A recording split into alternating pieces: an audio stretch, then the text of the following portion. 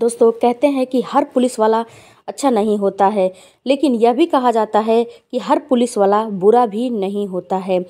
Police वालों से सामना पड़ता है एक लड़की का। जब जब उनका, उनसे सामना पड़ता है, तब लोगों को पता चलता है कि वाकई पुलिस वाले बहुत ख़राब होते हैं। लेकिन कुछ लोगों को ऐसा एक्सपीरियंस भी होता है, कुछ लोगों का अनुभव ऐसा भी होता है कि वह पुलिस वालों के तारीफ़ें करने से पीछे भी नहीं हटते हैं। वह बताते हैं कि कभी कभी पुलिस वाले भी काफ़ी अच्छा व्यवहार और काफ़ी अच्छे होते हैं। आज की मैं जो सच्ची घटना आपको सुनाने जा रही हूँ, आपको पुलिस वालों पर गुस्सा भी आएगा और आपको पुलिस वालों पर प्यार भी आएगा। दरअसल एक व्यक्ति चार साल से एक कब्र के अंदर कैद था और उस व्यक्ति का कोई भी सुराग नहीं मिल पा रहा था। पुलिस वालों ने देखते ही देखते इस फ़ाइल को बंद कर दिया, लेकिन एक आईपीएस जो ऑफिसर होता है, वो आईपीएस ऑफिसर ने उस फ़ाइल को देखा तो देखा गया कि एक व्यक्ति पिछले कई साल से एक कब्र के अंदर दफन है और इसकी तहकीकात वो करने लगता है। इसके लिए टीम गठित हो, किया जाता है। तो हर व्यक्ति सुनकर हैरान और परेशान होने लगता है इस बात को। इस बात की गूंज आज चारों तरफ़ फैली हुई है और उस आईपीएस ऑफिसर की सब लोग वाह वाहवाही और तारीफ़ें कर रहे हैं। उसको सैल्यूट करने पर मजबूर हो रहे हैं। यह ना ऐसा, न जाने उस आईपीएस ऑफिसर के नाम कितने किस्से, कितने कहानी जुड़े, जुड़ते चले जा रहे हैं। जिनमें से एक कहानी जो मैं आपको आज सुनाने जा रही हूँ। उसको सुनने के बाद शायद आपके अंदर भी सिहरन सा पैदा हो जाएगा। उत्तर प्रदेश का जो ज़िला होता है गाज़ियाबाद, और इसी गाज़ियाबाद ज़िले का एक थाना लगता है। एक जो इस थाने में थाने से सटी एक गाँव होती है। लड़की सोलह साल की, वह रोज़मर्रा की तरह अपने घर से निकलती है, सीधा पार्लर की ओर जा रही थी और जैसे ही लड़की पार्लर की तरफ़ जा रही थी, एक वर्दी पहना हुआ एक इंस्पेक्टर उस लड़की को आवाज़ देता है और जैसे ही उस लड़की को आवाज़ देने की कोशिश कर रहा था और अपनी चाल को वह लड़की बहुत तेज़ करने लगती है और वह लंबी लंबी साँसें लेती है अपने पार्लर में घुस के, यानी कि वह लड़की वहाँ से दौड़ के अपने पार्लर में चली जाती है। पार्लर की जो मालकिन होती है, जो लड़कियाँ होती है, उससे काफ़ी ज़्यादा सवाल करती है कि तुम परेशान क्यों हो? तब वह लड़की खामोश हो जाती है, कुछ भी नहीं बोलती है। अगला दिन निकलता है और अगला दिन भी एक बार फिर से वह पुलिस वाला बोलता है कि मेरी बात सुन लो, लेकिन वह लड़की डर के मारे फिर से भाग जाती है। फिर भी बात करने को तैयार नहीं होती है। तीसरा दिन आता है और फिर यह पुलिस वाला उस लड़की का रास्ता रोक, रोकता है और उससे कहता है कि तुम्हें उसकी परेशानी तुम्हें परेशान उससे नहीं होने की ज़रूरत है और तुम्हारा वह हमदर्द है और तुम्हारा वह समस्या का समाधान करने आया है। उस लड़की के पास जाने के बाद उस लड़की ने थोड़ा सी बात इसकी सुनती है और आखिरकार उसको थोड़ा सा विश्वास जगा, ये जगा देता है और उसको विश्वास होने लगता है कि शायद यह पुलिस वाला मेरी कुछ मदद कर सकेगा। यही वजह थी कि वह लड़की पिछले एक से दो दिन, चार साल एक से चार साल लगातार परेशान थी। एक व्यक्ति की तलाश में थी लेकिन वह व्यक्ति उसको मिल नहीं रहा था। आखिरकार उस पुलिस वाले ने उसको बैठाया उसकी काउंसलिंग की उससे बातचीत करने के बाद पुलिस वाला कहता है कि जो भी कहती है कि जो ही अंधेरा होता है सारी बत्तियाँ बुझ जाती हैं तभी एक आहट सी होती है आवाज़ आती है उस कमरे में जिस कमरे में मेरी माँ सो, होती है, सोती है। और साथ ही एक आवाज़ ऐसा लगता है जैसे कि उसके चाचा रोज़ रात को आखिर उसकी माँ के पास आकर सो जाते हैं। उसके साथ हुआ गलत संबंध बनाते हैं, गलत काम करते हैं और लंबे समय माँ के पास सोए रहते हैं। उसके साथ वह संबंध बनाते हैं और लंबे समय से पड़ोस में रहने वाले एक व्यक्ति हैं। उसका नाम होता है अरुण उर्फ़ अलीफ। उनको लेकर आती है। तब उसके बाद एक ऐसा राज दुनिया के सामने, खुल के सामने आता है, जो कि राज को सुनने के बाद लोग वो जो है, भौचक्के हो जाते हैं। दरअसल एक व्यक्ति होता है जिसका नाम चंद्रवीर सिंह उर्फ़ पप्पू होता है, जिसकी उम्र लगभग 40 साल के आसपास होता है। 28 सितंबर 2018 को अचानक से लापता ये आदमी हो जाता है। इस व्यक्ति को जो है तलाश करने के लिए इसकी, इसके घर वालों ने तमाम कोशिश की। पुलिस को फ़ोन किया गया। आसपास के लोगों के साथ मिलकर आसपास के इलाकों में ढूंढना शुरू कर दिया है। लेकिन दरअसल यह व्यक्ति इसी गाज़ियाबाद का नंदग्राम इलाके के गाँव का है। सिख रोड गाँव का रहने वाला था। यह व्यक्ति काम धाम नहीं करता था। इसीलिए यह ज़मीन जायदाद के छोटे छोटे टुकड़े बेच दिया करता था। टुकड़े बेचकर वह व्यक्ति अपने परिवार का और अपना गुजारा करता था। लेकिन 28 सितंबर 2018 को अचानक से यह व्यक्ति गायब हो जाता है और कोई खबर इसको, इसकी नहीं मिलती है। तब इसका जो छोटा भाई था, इस को इसकी नज़दीकी के पुलिस स्टेशन जाता है और वहाँ पर बताता है कि मेरा भाई जो है लापता हो गया है, अचानक से गायब हो गया है। गुमशुदा, गुमशुदगी का जो है रिपोर्ट लिखवाने के लिए जाता है। कोशिश करता है, तभी वहाँ पे दौड़ते हुए उसकी पत्नी बबीता आ जाती है और कहती है, मेरा पति, मेरे पति को गायब किया गया है, वह गायब नहीं हुआ है और गायब करने वाला कोई और नहीं, मेरा ही ये देवर भूरा सिंह है। आप, आपके यहाँ जो मुकदमा दर्ज कराने के लिए आया है, दरअसल जो उसका देवर भूरा सिंह था, वो मुकदमा दर्ज कराने के लिए पुलिस स्टेशन आया हुआ था। उसी के ऊपर उसकी पत्नी आरोप लगाती है। बस यहाँ इतना सा कहना था कि पाँच अक्टूबर 2018 को मुकदमा तो दर्ज हो जाता है, लेकिन देवर और भाभी एक दूसरे पर आरोप लगाने लगते हैं। देवर कहता है, मेरी भाभी ने मेरे भाई को लापता किया है और भाभी कहती है कि मेरा देवर जो है, मेरे पति को लापता किया है कि क्योंकि मेरे देवर ज़मीन, जायदाद हड़पना चाहता है और इसीलिए इसने मेरे पति को गायब करवा देता है। इसको गिरफ़्तार कर लो और इसे सच उगलवाने की कोशिश करो। जब यह बात पुलिस वाले सुनते हैं तो पुलिस वाले बिल्कुल हैरान और परेशान हो जाते हैं।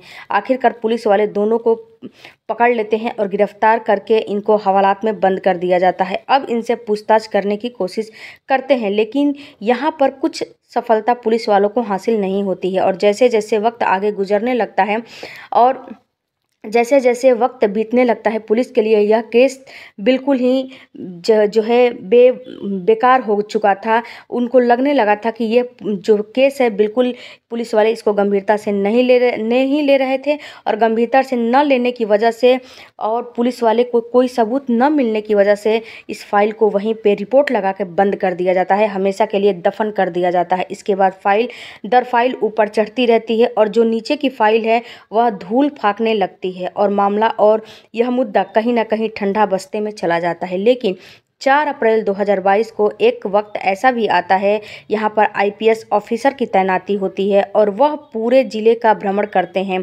पूरे ज़िले में बारीकी से ज़िलों की को समझने की कोशिश करते हैं, जाँच पड़ताल करने की कोशिश करते हैं, तभी वह अपने टीम को बुलाते हैं और कहते हैं कि मुझे ऐसे केस की तलाश है जिसमें कि जो फाइनल रिपोर्ट लग चुकी है और कुछ लोग गायब हैं। ऐसे लोगों के बारे में मुझे जानना है। तभी एक फ़ाइल आती है उनके सामने जो धूल फाकती हुई इतने सालों से थी।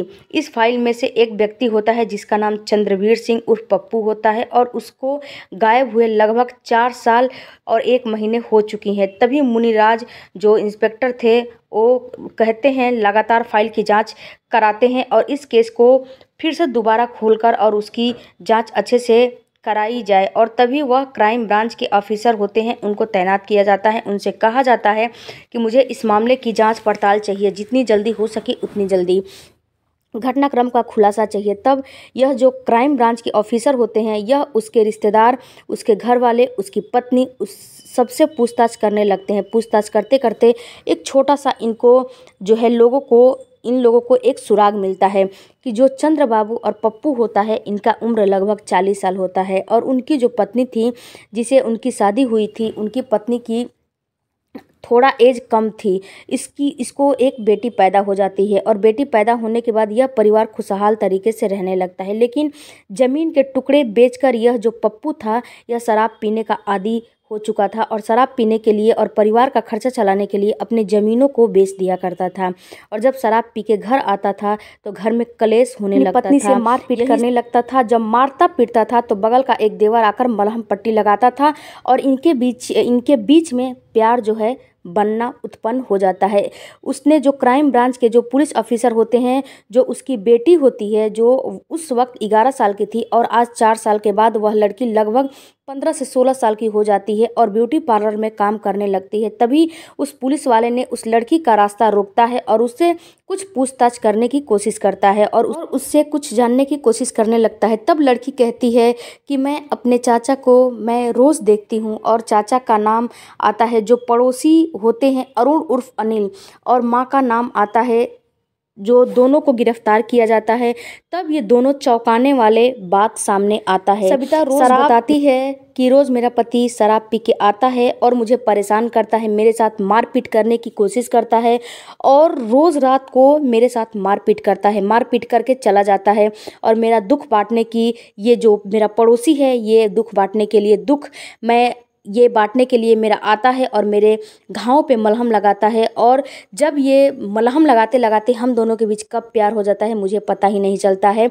और जब ये प्यार हो जाता है, तब जो हम लोगों को आपत्तिजनक स्थिति में और कोई नहीं, मेरा चंद्रवीर ने अपनी आँखों से देख लिया था और चंद्रवीर ने इसका विरोध भी किया था। दरअसल चंद्रवीर के पड़ोस में रहने वाला जो अरुण था, वह उसने शादी ही नहीं की थी। उसके माता पिता दोनों साथ रहते थे। माता पिता कभी इसको छोड़ के दूसरे घर चले जाते थे, कभी इसके पास रहते थे। यानी कि एक जगह उसके माता पिता नहीं रहते थे और जब भी इसको टाइम मिलता था तो छत कूद कर और ये आ जाता था और ये शादी नहीं किया था और अपनी जितनी भी जिज्ञासा होती थी, इनसे पूरा करता था। अट्ठाईस दिसंबर दो हज़ार अठारह की जैसे ही वह ज़्यादा शराब के नशे में था, उधर अरुण के माता पिता भरतपुर गए हुए थे और उसने तीन बार बार चार पहले से दिन से अपने घर में गड्ढा खोदना शुरू कर दिया था। कोई पूछेगा तो वह कह देगा कि यह लैट्रिन का गड्ढा बनवा रहा है, टैंक बनवा रहा है। इसीलिए उसने इस गड्ढे को खोद रहा था। लगभग छः फुट गहरा गड्ढा खोद चुका था और बहुत अच्छा खासा चौड़ा